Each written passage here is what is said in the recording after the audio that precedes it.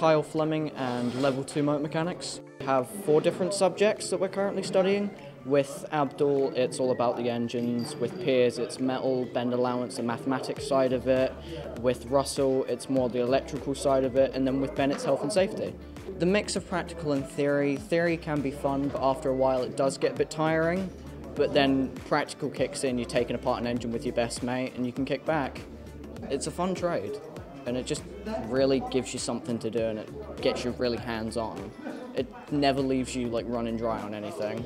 It's engaging to say the least. Chose one really. It was I looked at the other options and kind of just only applied here to be honest. I just saw the option and thought, honestly, good college.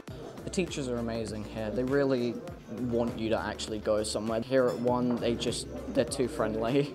too friendly, man. Like, they really want you to go somewhere. They have us aspired to be engineers. They want us to go far, and they really do care for us. Well, so far, after this, uh, I plan on going into vehicle engineering, which is vehicle maintenance. But I've also applied for the Navy, which can put me into submarines weapon engineering. There's countless types of engineering that you can really go into college does help me keep my head down really because it's surrounded with people who can help you with your work. If it's not the students and your friends that are helping you, teachers are always there to give you a hand. And it doesn't have the people that just don't want to get their head down because people who really separate themselves from that group can really shine as a person.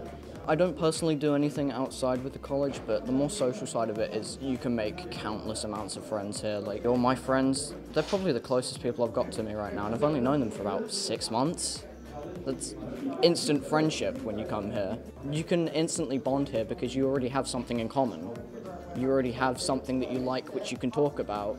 If you want to make friends, if you want to get down, if you want to just have a good time and you want to get work done and you want to come out with something, just come to one because there's countless of opportunities here.